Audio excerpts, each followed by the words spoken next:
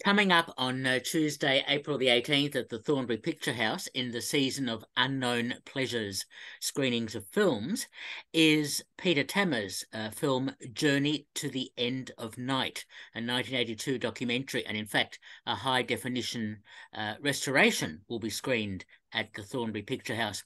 And it's my great pleasure to be speaking to Bill Mousoulis, who's the co-creator, um, uh, co yes, co-director, uh, co-creator of uh, Unknown Pleasures with uh, Chris Luscri. Thanks, Peter. And Peter Tammer, who's the director of Journey to the End of Night. Welcome to Movie Metropolis. Well, I've been with you before, but it was audio and I didn't have to see my ugly face up on the screen. I thought we had talked previously, but that's we won't. It might have been about flowers. The, no, Poles Apart. When I when I put out the ebook Poles Apart, yes. long time ago, Peter. It, I think it it's was. about four years or five years ago. Yes, but I remember it uh, quite well now. That's right, exactly. All right, but we're here to talk about Journey to the End of Night. So, uh, Peter, first question to you: um, How did you first get to know about Bill Neave and have him as the subject of your documentary? Okay, that's easy to answer. Um, I was uh, I I was living in a boarding house at one stage, in between jobs and things like that. My life was my film life was pretty wretched at the time, and uh, a friend of mine, Ruben Moe, his, his surname is Mazovsky. In those days, he went by the shortened version M O W. Anyhow, he put a a newspaper article under my door one Saturday night or Sunday morning. When I woke up, there was this newspaper article which included all of Bill's story. And it was written by um, a Herald Sun journalist. I think his name in memory is Robert Coleman. And, uh, and it was like a two page spread from the Saturday Night Herald's, uh, you know, the Weekend Herald. And it was extraordinary. And so Ruben invited me to be a partner in making a film with him. And he researched the film and got to know Bill and introduced me to Bill. But then sometime later, Ruben had a terrible car accident and he was in hospital for quite a while and uh, and recovering for a very slow recovery for many months. And I think Bill Neave got very upset that nothing was happening with the film. And Ruben's plan was to make a conventional feature film. And of course, that needed a lot of funding and all that sort of stuff. and Bill Neave had no understanding of that. And so he was very frustrated that nothing seemed to be happening. Anyhow, one day, Ruben rang me up and uh, said, "Look, I can't go ahead with the film I, it, it, during this period of recovery. I just, I just can't face it anymore. You know, would you like to take it over?" And I said, "Yes, but I can't take it over in the style to which you've been writing a feature script and all this and going through fund applications and getting rebuffs and and being told by panels how bad the script is and what you got to do and all this. And I was going through my nightmare with Mallacoota Stampede not getting finishing funding at the time. And I said to him, Look, I would love to take it on, but it would have to be a different sort of film that I could make on my own terms. And he said, Fine, I'm happy with that. So he said he'd bring up Bill and tell him that he couldn't continue and that Peter would take it over. Now, Bill had already met me a couple of times through Ruben. Uh, so um, then, then I got Bill to visit me up in Hawthorn, where I was teaching at Swinburne and living around the corner from there. and we hit it off pretty well. And I showed him a couple of my early films that were like History of Mr. Robinson and A Woman of Our Time, and he loved those. And he said, Our film's going to be much better. Mm. So I was up to a good start, right?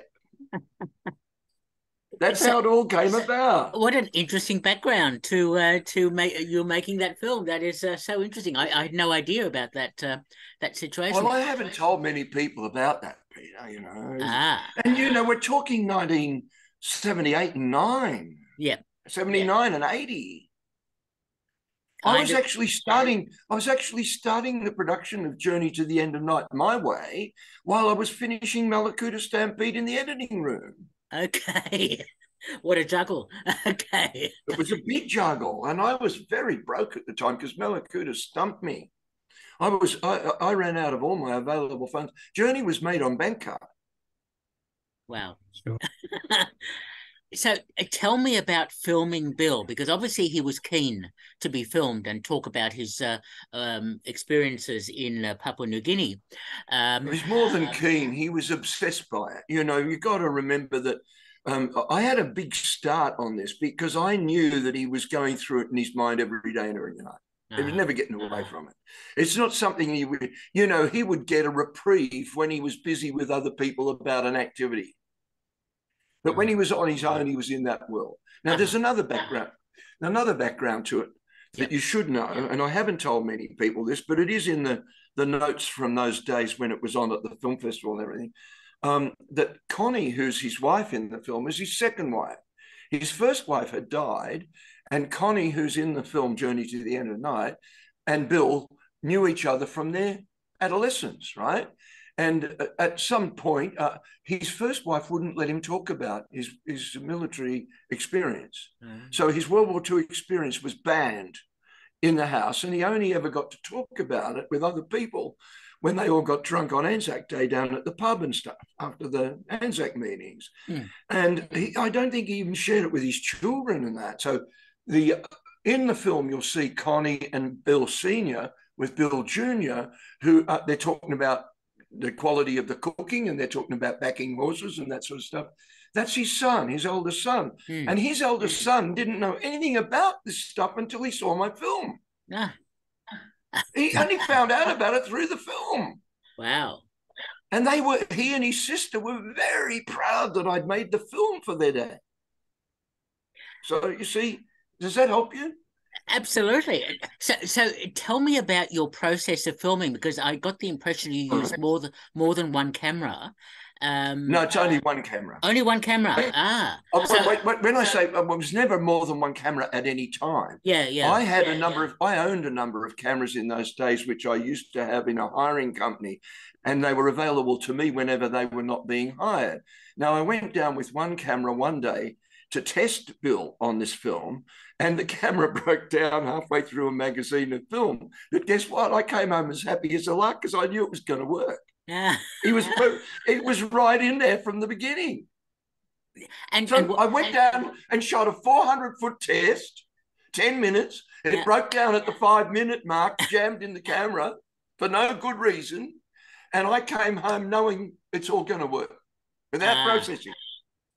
Yeah the reason I asked that question, that again, that's so interesting to hear all this uh, this process stuff, is that he doesn't look at the camera, um, and I gather he didn't need much prompting because at times it looked like that you were toggling between different scenes. Yes, I, I did that deliberately. You know what? Uh, I used to let the uh, even though I I uh, even though I was broke, I bought film.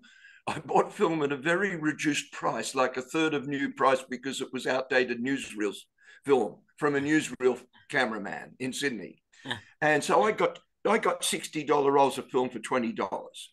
And and therefore, and because I was only processing it, not work printing it, I thought, well, we'll just shoot the film and we'll, we'll process it and see what we do with it later. So I never really had to do much stop start with him because I treated the film like once we were running, it was running like water. You know, like you turn on the tap and it's running, and then with film, you run out of film and you stop, you know, uh, in those days. Now, of course, nowadays, if you're shooting with a GoPro or something like that, you can run an hour of film through the camera without running out for that hour. You might run out of battery power, but you're not running out of film. And it's not costing you like it cost us in film days, you see. So then there's the other thing. Um, I, I, from the very beginning, I, I directly, I didn't consider this as a as a directorial thing, I just chose to have him talking off camera and not at the camera. In all the sequences in the film, I never asked him to look at the camera mm. because it just seemed alien to me, mm. you know? And also, um, Adrian has pointed out in his comments that uh, that you know that I often cut between one sequence of Bill doing something and another sequence that are not necessarily related, and I do that because I didn't want it to be just a a, a chronological continuum. Does that make any sense to you? Yes. I, I don't know why I had that to say. You know, another thing about this sort of interviewing is if you'd have asked me these questions in 1982, I could have given you more accurate answers. But 41 years later, I can only say, I don't actually think I thought about that very much. Uh-huh. I Okay. think it was, you know, I've, most of my life I've been an intuitive filmmaker. Mhm. Okay. I don't follow. I don't follow. I might have been a film teacher, but I don't follow rules on how you make films. Good on you. That's fine. Bill, do you want to to, to uh, chime in here and say something about that? Uh, well, well, it's interesting with the um, you know, point of view that Bill has that that um, he does not look at the camera, and and that's that's perfectly um, uh, per- perfect. Actually, it's because it's kind of like he's reliving, you know, moments, and it's like he's looking at you know one of his um, kind of you know um, army mates, or then someone else over here, and and and of course, if you're looking at the camera, it means you're you're addressing the the viewer and you're offering the story um, in the past tense and whereas bill is actually living it moment by He's in moment the present. He's in the Um, present. yeah Mm. Mm. Oh, sometimes it's in past tense. For example, he goes into some things where he's talking to one character about something that's happened before. Mm. You know, like he talks.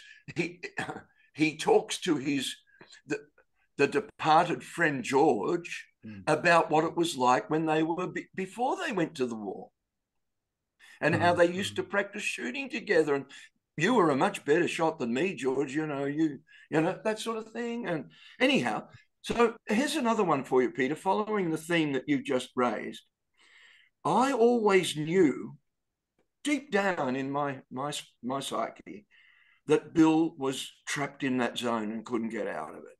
And I knew that he was not doing that out loud every day, but it was his inner voice always going, right? He's, he was always addressing these things to himself. So all I had to do was to encourage him to go back into a particular moment that I knew about and get him started. And so I'll give you a good example of that. There's a sequence in the film that I'm incredibly proud about, and that's where he sits at the piano and starts playing Oh Danny Boy. Yep. And I knew he wanted to do that as a tribute to George. But I, I we didn't discuss it very much except to say, Bill, after lunch we're going to do Danny Boy, right? And so after lunch he came out and we, we were having lunch together. We came out into the living room and I showed him how to pick out a few notes on the piano for Oh Danny Boy. And I had the camera ready to go, had the lights set up, had the exposure, I had everything ready to go, the sound recording. I had no crew, right? Everything was set up, ready to go. And he starts playing those few notes, and then he starts and he goes through a whole roll of film like that. I didn't have to do any directing on that. Yeah. All I had to Mm. do was ask him to sit at that at that piano in that approximate frame and Mm. pick out those notes. And I had allowed enough space that he might lean back during the shot and stuff, which he did. Mm. Amazing. It was that simple. Yeah. Now, Yeah. there's an opposite one, which I can talk about, where we did have problems. There's one that um, the last sequence in the film, which is so powerful. On the night that I shot that, I had a terrible ordeal because I shot four magazines of film and they were all approximately 10 minute takes. Now, if you don't do a 10 minute take, you just empty the, you know, you, you, you, you take the film out of the magazine and put it in a can, maybe for processing, question mark. And those first three takes were terrible. He wasn't in zone. Oh. So I had to stop and have a talk to him, and we had a cup of tea. It was an evening shoot, like a Sunday evening, the end of the weekend that I was down there, because I did a lot of this on weekends and holidays. Mhm. And um, and I had to level with him, and I knew he was distressed about going through the stuff, but I had to tell him it wasn't working.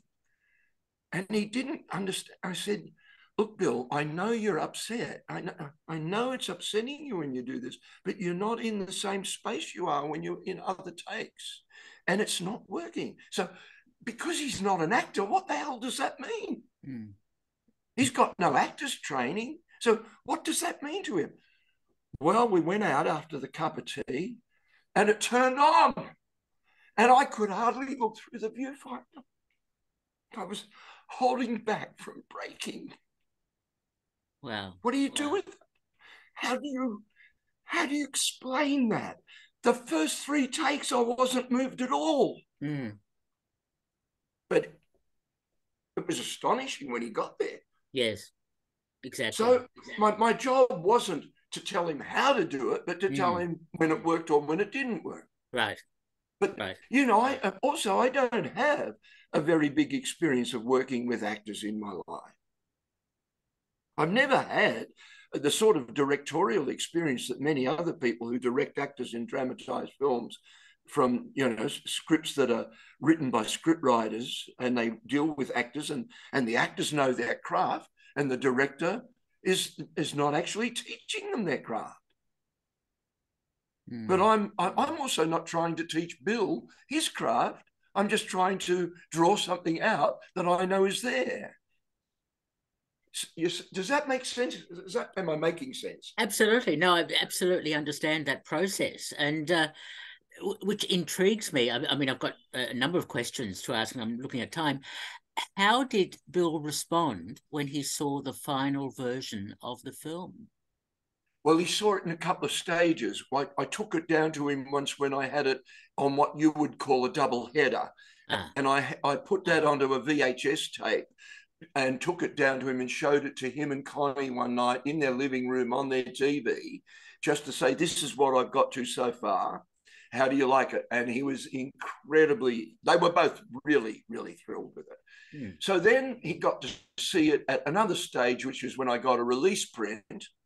That I made a, re- a final release print, and that would have been about six months after that VHS screening, right? mm, and it was now getting to the point where we could enter it in the Melbourne Film Festival and things like that. So Mm. we're now into 1982, the beginning of 82. mm, And I had also arranged a screening at the State Film Centre for invited friends, right? Friends and friends of mine that were filmmakers and just and relatives and things like was that. And Bill could have his relatives there too. So, you know, but so it was a screening for about 100 people at the State Film Centre at the beginning of 1982, before the film festival screening uh-huh. and that was very successful. And uh, I um, and and Bill really responded very very well to all the people that he didn't know coming up to him and congratulating him for making the film. And he, you know, that was very big for him. That people that were absolute strangers were coming up and saying, good on you, mate. Thank you for making this film. And you know, even in his hometown, when I showed the film at the drive-in down there after all the film festival stuff was over, we went to the drive-in, and the drive-in was packed out. And then a few days later, Bill told me people were stopping him in the street. And one person stopped him in the chemist shop to say how wonderful the film was and how good he was for making it. No one ever, no one ever took him to task about what he'd done that caused him to make the film. They were congratulating him for having the courage to do it, to say, This is what I did. This Mm, is what happened to me. So it was very powerful. But on the other hand, now, the other thing is people talk about was it cathartic for him, you know? So, uh, and it was cathartic for him. I know that, but he never, I can promise you this, I kept up with him till he died, right? Uh, he died about 10 years after we finished filming. Mhm. In 1982, we showed it at the festival. He died about 10 years after that, nine or 10 years after that. And I was down at Casterton the, the, the week that he died, and he was incom, he was burbling. He was not, he was barely conscious. And I know he was still trying to thank me for making the film, you know. He never got it that it was not my film, you know, that it was a partnership that couldn't be made by one person, you know. But he, even if I would say that to him, he wouldn't take it on that level. He would say, you know, thank you so much for making the film, you know.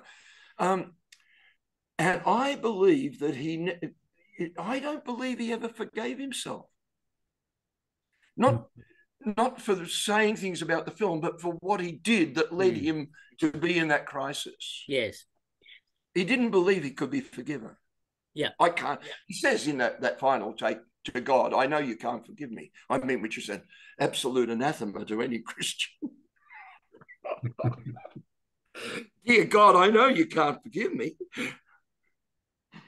So, uh, just on that, uh, you uh, you there are some passages from the Bible in the film, as well as from uh, Louis uh, Ferdinand Céline, I think. Céline. Uh, Céline. Céline. Yeah, tell me about putting those in. How did that work? Well, it, it came out. I'm very pleased about this. It's a most amazing synchronicity that happened to me around about the time I finished Mallacoota and was working on Journey, and I hadn't finished Journey. Around about that time, two books were loaned to me. One of them was a re a revised translation of the book of Job in modern English, rather than biblical St. King James English, mm-hmm. right? like our, let's say the Church of England Bible uh, that people would read if they were Church of England followers was written in 1600 or thereabouts under yeah. James I or something like that. So the, the version that I got was a, a completely new translation that was loaned to me, right, on the book of Job. And the second one was another friend, and Anne Wookie, who was who was Nigel Buesst and were a, a, team at that time, partners at that time. She knew I liked um, Céline's Death on the Installment Plan. So she loaned me Voyage au bout de la nuit. And oh, I couldn't believe it. But the conjunction of these two things was while I was editing the film. And I felt like they bookended they bookended Bill's experience, but they put his experience into a sort of um, a juxtaposition with each other and him. So he's in his zone. The Bible is giving you another another way of looking at how humans have related to moral crises, and uh, and and the issue of fate and what what fate delivers to you, what is put on your plate that you have to deal with and Céline is not religious, he's an atheist. And, and he says, We're living in a shithole and uh, we can't lie about this. It's terrible. And if you do something terrible, you must admit it. And he was one of the biggest fascists in France at the time. And he was considered by all the lefties like Sartre and Camus and everybody the biggest traitor of France, you see. Ah. But he, but people like they all respected him for the intensity of his writing and the clarity of his writing. They just didn't like his politics. Uh-huh. Okay. Interesting. Does so, that help? so, Bill, does that answer your question? It does, of course, it does. so, Bill, let me ask you about the restoration of the film that you're screening on the 18th of April at the Thornbury Picture House. Ah, well, the restoration, yeah, we've we've actually been screening a few restorations by Ray Argall um, in mm. Sydney, who's doing super, you know, top notch kind of work on restoring from the original negative. Uh, I mean, in this case with Peter's film, Peter has uh, done the restoration himself. Ah. And uh, using a, a particular, and this is really great because I, I say to a lot of filmmakers, don't wait for the archive to to offer you a restoration. Mm. Do it yourselves if you can, even if you have to uh, spend you know a bit of money on you know going back to the original neg and doing a a new digitization. Uh, but Peter didn't do anything like that. He just actually worked with what he had, like the, a DVD quality or, or a bit better quality. Uh, oh, I started with the DVD file. Yeah, yeah.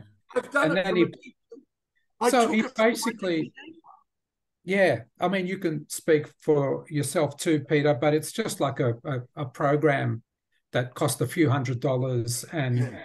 um, it actually gives pretty good results um, for, for that amount of money, certainly. Mm.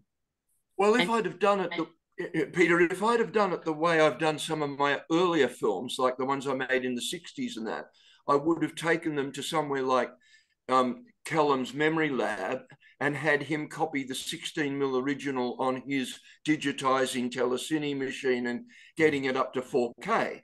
But I didn't do that with Journey to the End of Night because I can't afford that. That's a very large amount of money would be required to do a film of that length. So what I did is I a couple of uh, I've been experimenting with Topaz, and Topaz is a, a an AI uh, video enhance system, and the problem is that it's very powerful, and sometimes you're tempted to take it further than you should, and then it breaks up into artifacts. So I'll give you one example. In one film that I was restoring, there was a bit of sunlight on a man's nose, and it looks like he's got this big band aid on his nose because the AI doesn't know what to do with this little flash of sunlight on his nose. Mm. So it turns it into something that looks like a patch. Mm. And it looks like a plasticky patch rather than just natural sunlight falling on someone's face does. So you know, so you've got to learn how to use the the equipment or the program so that you don't push it too far.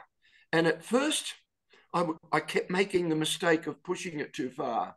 And I, I finally, uh, after a number of attempts, I found I could get a certain result that was not perfect, but that it was so much better than anything I had on the DVD. And I, I wouldn't have wanted to present the DVD at the screening on Tuesday week. Mm. Okay. No, no, it's it's it's fantastic. Uh, well done, Peter. Because, like I said, it's just like a few hundred dollars for this program, as opposed to spending thousands um, doing it. You know, the kind of the, the proper way with the original neg. So, and yeah, it just gives that sharpness, and so it's really great in that regard. And detail. It it, it brings up detail as well as giving you the sharpness. Sometimes mm. it does too much, but we want we can talk about that. I don't want it to degenerate. You know, the film doesn't deserve to be talked about on technicalities. Yeah, I, I, I, think I think I'd like to just chime in. I mean, yes. we've been yep. talking about Bill Neave, the person, and everything, but.